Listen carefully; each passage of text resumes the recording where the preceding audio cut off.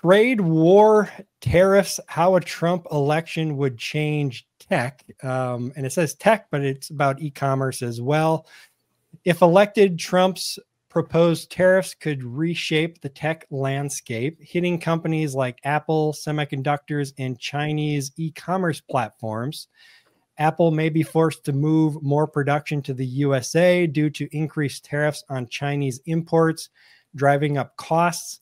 Semiconductors, crucial to tech production, could see sustained tariffs regardless of the election outcome, with bipartisan support for protecting U.S. access.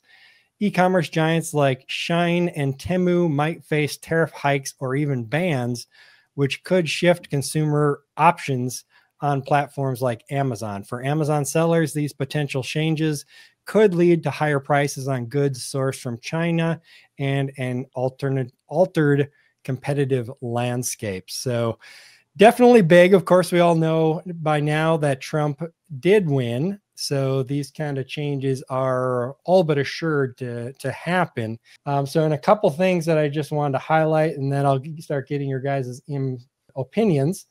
Um, but obviously, uh, this is going to affect Shein and Temu and Amazon's low cost store quite a lot because as Trump has said, he's looking at potentially imposing 20% imports on everything or tariffs on everything and 60% on China, possibly. Um, so let's go ahead and jump over to uh, Danon first. What are your thoughts on uh, Trump and tariffs with e-commerce? So I'm I'm torn on this. One one thing I I think that I don't think there's going to be a 20% on all tariffs if this goes in, right? I think I'm going to assume 10%, right? And if you did do a 10% on tariffs, I did a little bit of research on this, and the average household would spend roughly $4,000 more per year, four to $6,000 more per year on what they're already spending on, right? If there was a 10% tariff enacted on all goods. Um, with that said, if if the because Trump, I think, also proposed that he remove all income tax. Now, correct. I, I don't like. Don't get me wrong. I'd freaking love that, but maybe he'll be shot at again for that. Who knows? But this time, you know. But if that did happen, if both of these things happened, then the average household would keep ten grand, but spend four to six more. So they would end up having four to eight thousand dollars more. Something is my math right on that? No, it's not. But they would end up with thousands dollars more. Six grand, I think you said ten thousand more, four thousand less. So that'd be yeah. six thousand extra yeah. average. Yeah. So four to I guess my math was right. Go me. So they'd end up with a net positive, but you know, for those of us that are ecom sellers importing from these places, especially China, especially if a super high tariff is enacted on that, that ain't good for us, right? Mm-hmm. Now, me personally, my goods are made in America. So I don't have to worry about it, but I sure as heck would if I were still do still importing from China. You know. I mean, but at the same time, like if you look at the upstream, probably 90% of the materials that your manufacturer in America Come uses to manufacture mm-hmm. comes from China. Very so regardless, pay for it. Uh, I will say on this, like I don't have any opinions like politically, but I think Trump comes from a business background, yeah, and he has proven himself as a business person to be very successful. So I will assume that he will keep that record straight and that the decisions that he's making and will make or whatever he passes will make sense in the long term. And sometimes i feel these type of news are very uh, useful to create um, panic? I guess yeah panic terror and mm. you know more separation between the people that think that they you know you shouldn't change things. So I don't I don't know if we need to worry.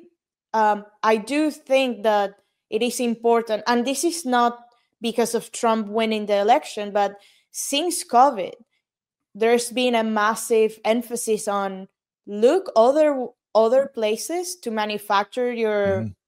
products because you don't want to have a single point of failure.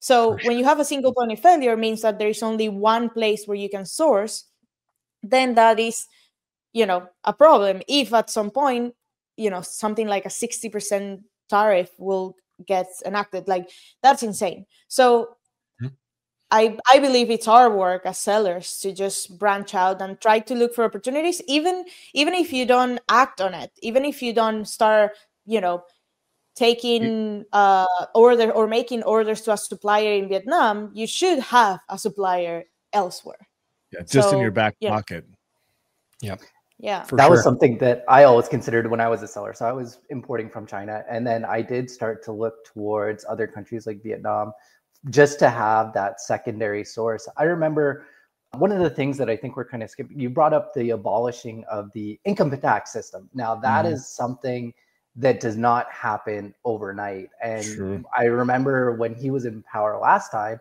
it was kind of a shoot first, ask questions later kind of mentality. Mm-hmm. So I could see these tariffs coming in very quickly Mm-hmm. without an actual plan on the other side on the income tax side of things yeah. offset those higher costs yeah that's that's would be the recipe for disaster is if you didn't keep any more money and you just like after covid stuff went up 40 50 200% you know my mm-hmm. my grocery bill is i think double what it was mm-hmm. if that happened again then my children would eat me bankrupt Yes. Mm. Yeah, it's uh, you know, I'm I'm torn on this because uh, politically I consider myself more libertarian than anything. So, you know, free markets, free trade, all that kind of stuff in a perfect world is what I would prefer. Unfortunately, we don't live in a perfect world and, you know, China is heavily subsidizing everything that it does when it comes to trade. So it's not, you can't have one side, the United States, doing free trade, and then the other side doing heavily subsidized and controlled trade. Mm-hmm. The one doing the free trade kind of gets hosed in that situation. So yeah. whether whether the how high the tariffs go, I think depends on the the country. Trump is probably going to use them as a weapon more than anything, or like, negotiating you know, tool. Negotiating, mm-hmm. yeah. So you know, China, you're going to keep messing around trying to to um, uh, mess with other countries, um, working with Russia, trying to mess with the Philippines and uh, take uh, um, Taiwan. Taiwan. 60% tariffs. There you go. And that's the threat, right? Instead mm-hmm. of we're going to attack you, the threat is we're going to put these tariffs on you, which I think is a lot better than yeah. going to war with someone. Yeah. Char- Hopefully char- it doesn't make, have to happen. Yeah. I'd rather Even, make China pay all their gas money for for their war machines than actually use them against each other. Correct. You know, so, I think I'm down that, in Canada, and Canada, we're talking about how Canada is going to be impacted by these as well, right? Like we're your biggest trade neighbors, and mm. we're even talking about tariffs coming our way. And we just re- renegotiated the U.S. Uh, and NAFTA. US, yeah, it's not NAFTA anymore. It's USCAM. Oh, uh, they they named it something else. But, oh, great! Shows what I and, know. Yeah, and uh, we're talking about how it's gonna like we're the bit we're U.S. is our biggest trade partner, and we're talking about how it's gonna impact us. And he's gonna make an example out of someone, mm-hmm. right? He's gonna try to make that example out of someone to show that he is the businessman in the room, that he can get these deals done, and who's gonna be the victim is is gonna be the question. He's gonna pick out someone and they'll get the short end of the stick, I think. And then after that, I think everyone will kind of be like, oh, you know what? He is for real. We better fall in line.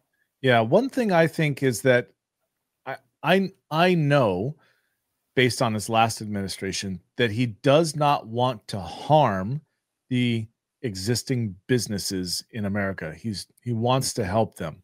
So if if I had to guess, he's got a deeper plan on this he made that statement to shock for shock and awe and mm-hmm. then he's going to craft something that actually hopefully He will craft something that makes sense for everyone.